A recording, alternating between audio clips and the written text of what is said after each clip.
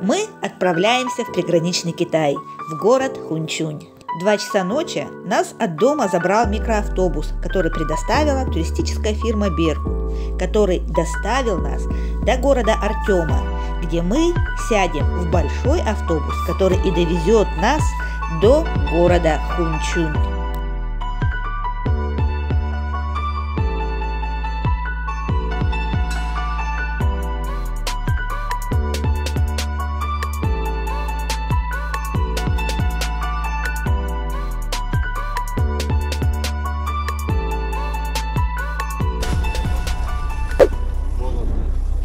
Замерз. Замерз, пока ждал автобус.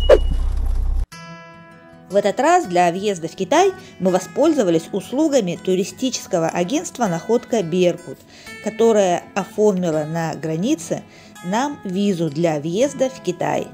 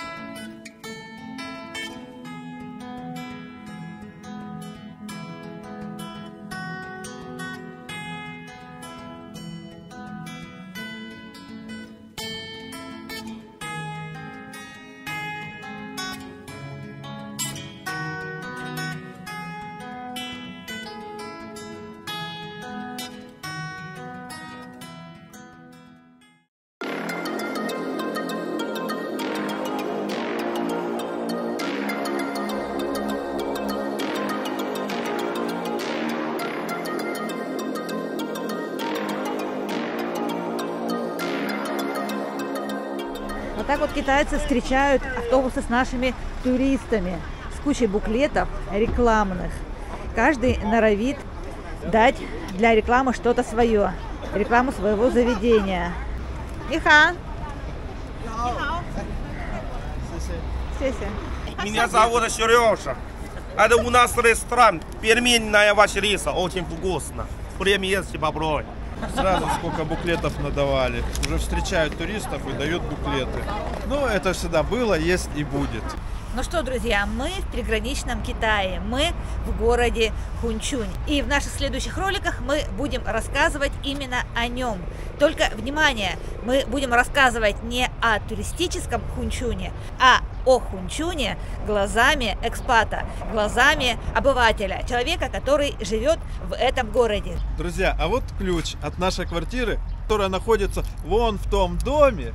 Вот, посмотрите, дом высотка с красными буквами на крыше. Вот последний 17 этаж, там у нас квартира. Сейчас мы домой не попадем, потому что вот этот ключик, вот этот магнитный, его нужно каждый год обновлять. Как-то там намагничивать, промагничивать. Ну, короче, сейчас мы пойдем к нашему другу китайцу, который нам и приглядывал за нашей квартирой. И у него возьмем уже промагниченный ключик и попадем домой. Друзья, без вот этого ключика магнитного мы не попадем ни в лифт, ни на территорию этого комплекса, где мы живем. Может сначала покушать? Начнем мы сначала с перекуса. Даже не с перекуса, а с хорошего обеда.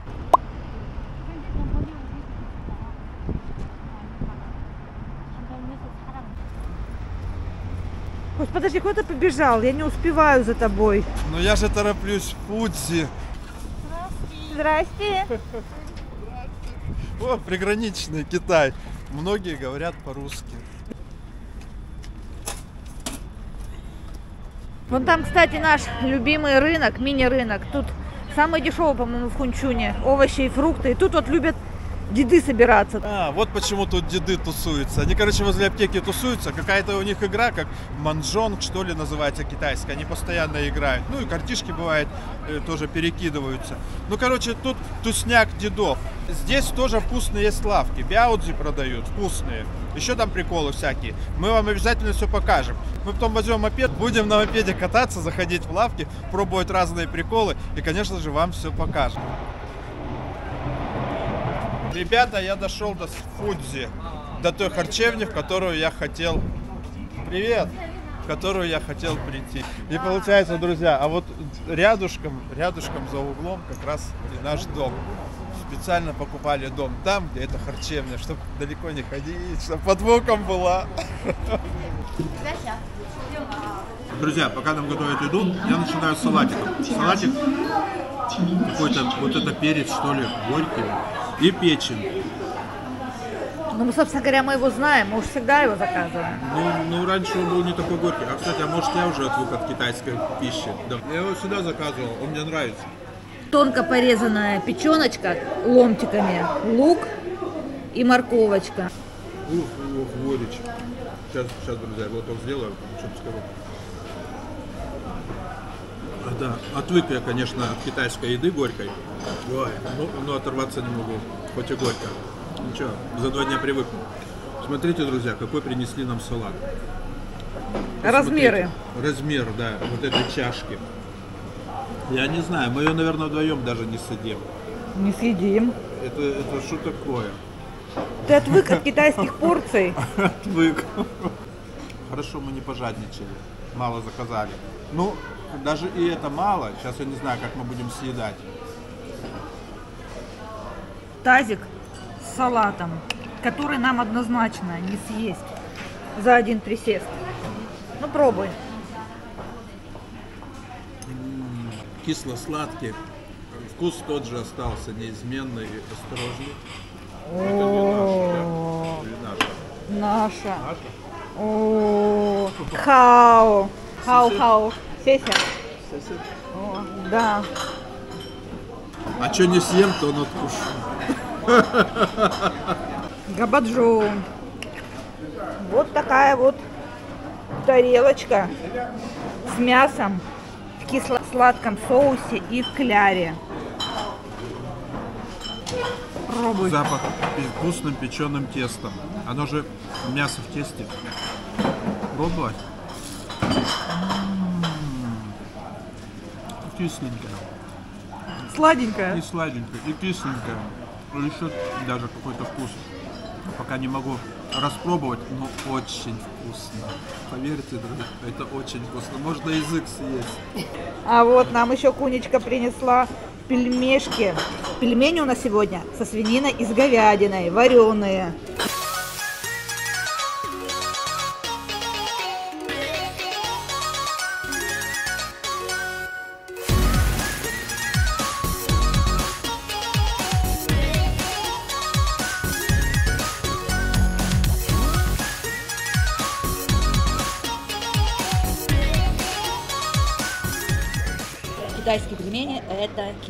Китайские пельмени. Комментарии здесь излишни. Это нужно только есть. Ой, не могу, не могу доесть. Вот, не, не лезет все уже.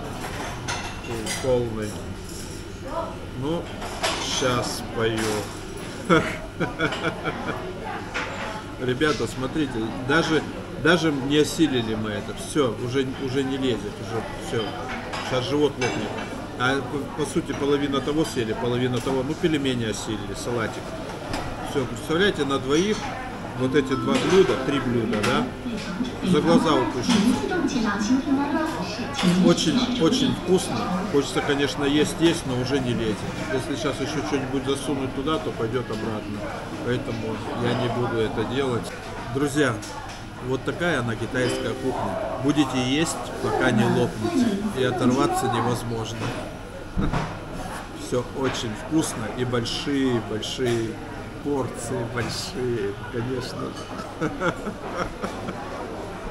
Вкусно, респект китайцам, молодцы. Готовить они умеют. Если вам нужно вкусно покушать, то это в Китае.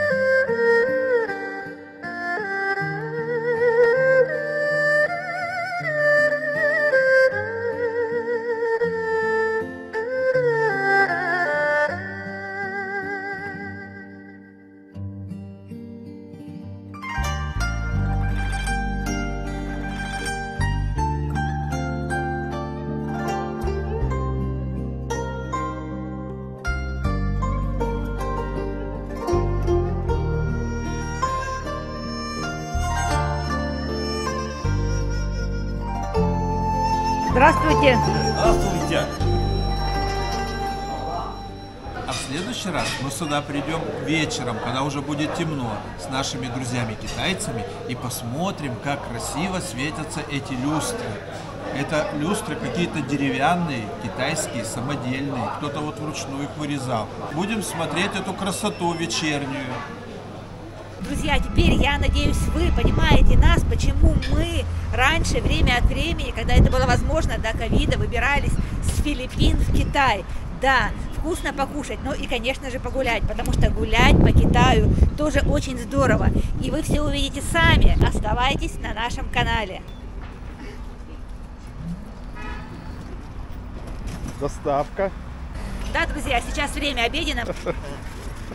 Еще один поехал. В общем, друзья, время обеденное, и пельмени, и другие разные всякие блюда разлетаются по хунчуню. Все хотят кушать. Еще один помчался. А мы поедем на вот этом шикарном мотоцикле. Кто же приехал на этом шикарном мотоцикле? Кто кто? Ну, конечно же, я. Конечно же, Костя шутит. Мы-то приехали в Китай на автобусе.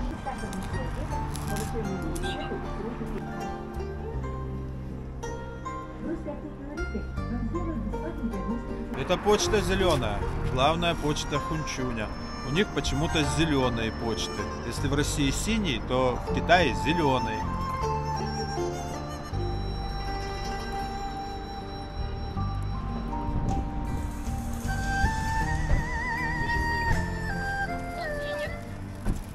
Друзья, а сейчас мы придем к другу, которого не видели 4 года.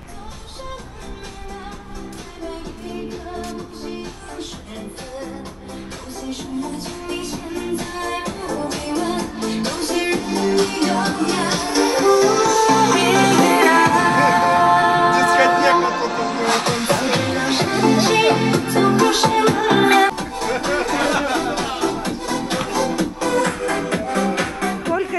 мы не видим? 4 года. Да, уже 4-5 года, да. Да, Браво. представляешь? А ты все такой же молодой. Да, молодой. Да. А еще моложе стал. Нет? Да.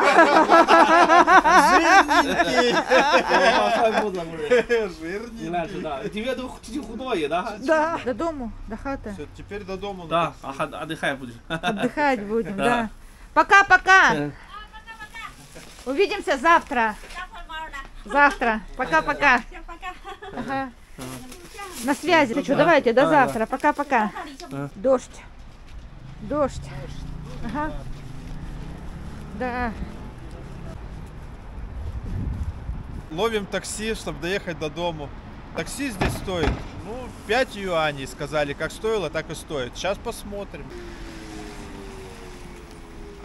Скажешь, куда надо? Да, да. Нихао. Тинтин-годи. Тинтин-годи. Тинтин-годи. А такси-то какие шикарные у них стали. Электрические. Много места. Конечно, салон деревянненький, но зато просторный.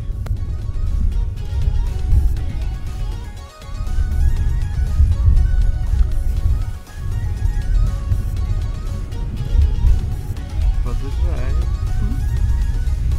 Давно не были мы там. Как там? Уже мандраж прям какой-то на душе.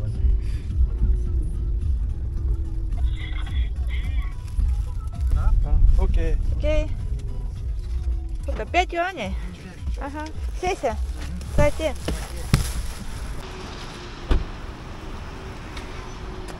Добрались. О, вот оно. Вот он наш дом.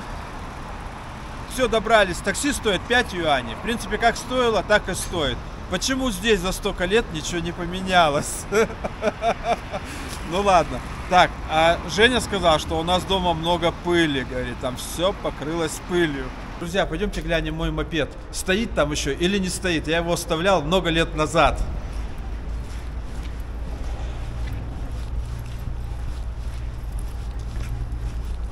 Вообще тут две парковки. Одна парковка с этой стороны, другая парковка снутри. Но мне как бы удобнее с подъезда вот это ближе, я ставил здесь. Ну ладно, пойдем, пойдем посмотрим. Так, Интересно. Что-то Настя все открыто. А, тут рабочие работают. А, Ну, давайте, друзья, посмотрим. Вот такие вот парковки в комплексе в нашем, где мы живем. Две. Ихау. Стоит? Да, да. Ну, покажи. Стоит. Ну его, конечно, уже в кучу скинули. Че, столько лет без дела. Вот он мой мопедик, вот он он. Вот его в кучу забросили. Вон он он.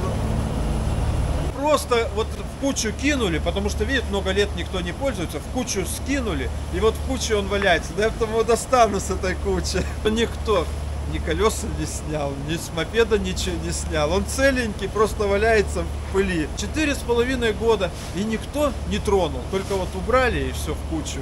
Вот это как? Вот, вот все не по-нашему.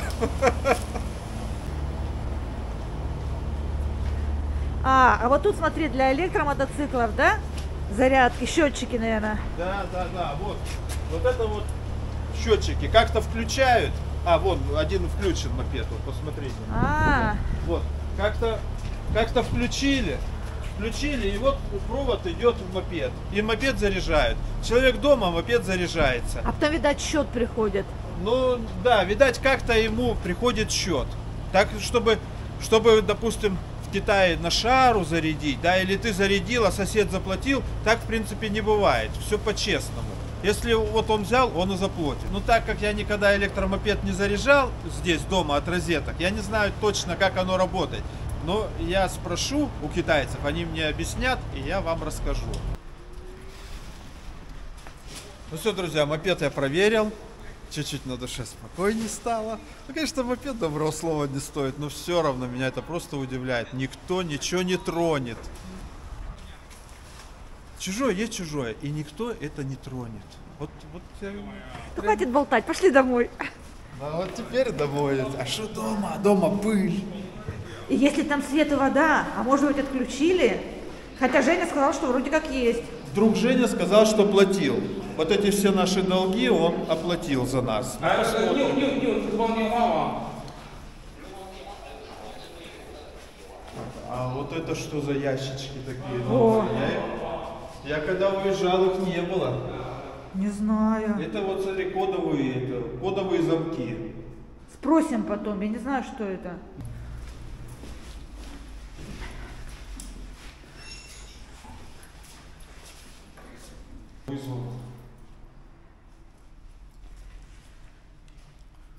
Что-то такой, конечно, подъезд.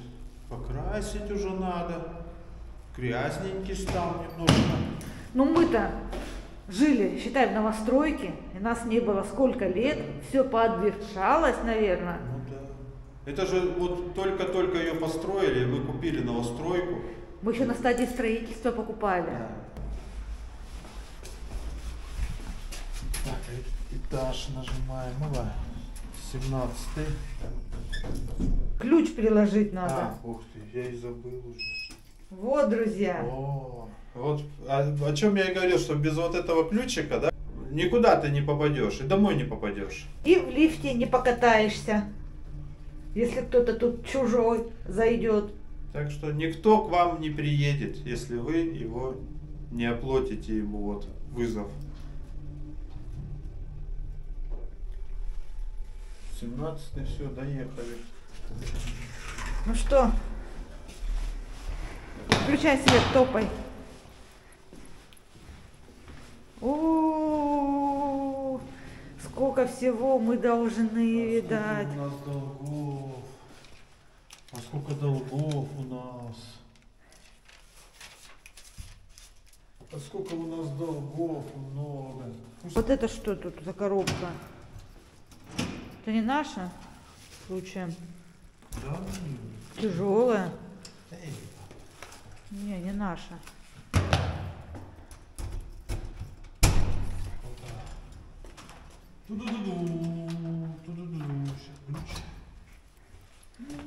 Ну чё?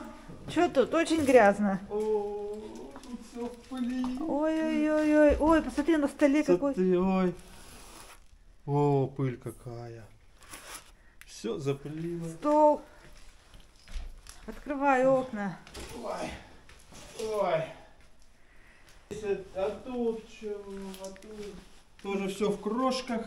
Все равно пыль. О, какой слой пыли. Ха-ха-ха, Нифига себе. Ну, Смотри, что творится. Опа.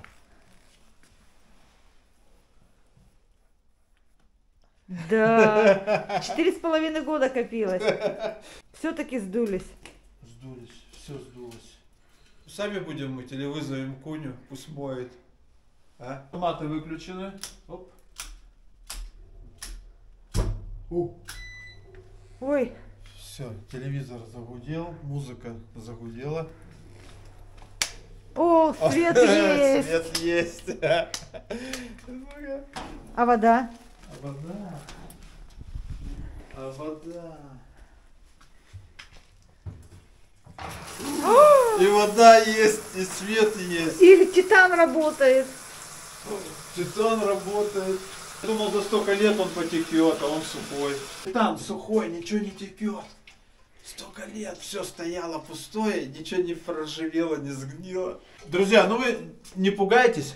Мы здесь как бы только начали жить, еще делали ремонт, еще кое-где даже не закончен этот ремонт. Так, немножко жилое состояние привели, жили, а ремонт чуть-чуть не доделали. В Китае с ремонтом проблем вообще никаких нету. Стройматериалов полно, все стоит дешево, рабочей силы тоже, только выбирай, кого тебе позвать на работу, очередь стоит.